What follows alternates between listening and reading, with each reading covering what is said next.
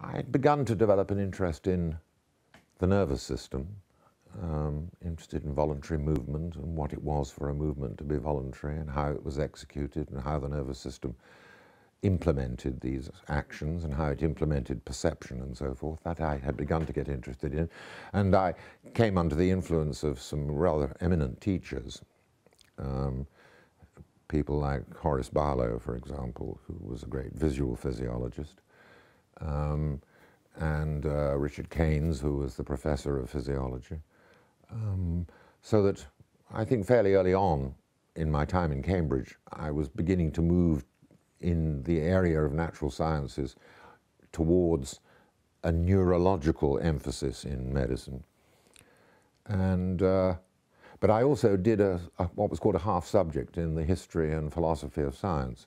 Now that may have been under the influence of the books I had seen and partly dipped into from my father's library. I still have many of them back there.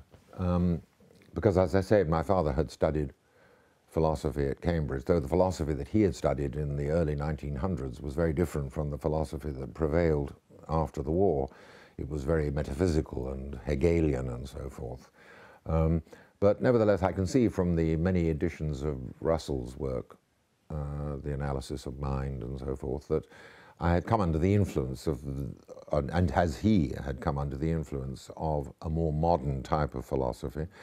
So that by the time I went to Cambridge and was a student of a man called Russ Hanson, an American physicist who was interested in, in the philosophical principles of science, had written a very influential book called Patterns of Discovery, and he introduced me in our supervisions to um, the ideas of Wittgenstein. And Wittgenstein had died, I think, only two or three years before I came up to Cambridge. And I was introduced to the later Wittgenstein, the Wittgenstein of whom Russell disapproved. You know, the, Russ, uh, was the Wittgenstein after the Tractatus and the philosophical investigations that I began reading, and they, they seemed to me to be very interesting and obviously have a bearing on what it was for something to be a voluntary action.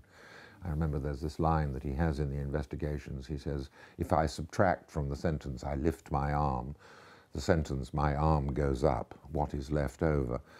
And that, that preoccupied me, and I was, by that time, really interested in what it was for something to be a voluntary action, and where did it originate? I knew where it got out of the nervous system in what uh, Sherrington uh, had called the final common path, and there was the, the last neuron in the spinal cord beyond which there was no way of interfering with the, uh, uh, the effect on the muscle. But then I was interested, as I suppose Sherrington was and others, was how, how did volition uh, in start? Where did it initiate? What decided uh, what was going to happen in order to lift my arm as opposed to discovering to my surprise that it had gone up.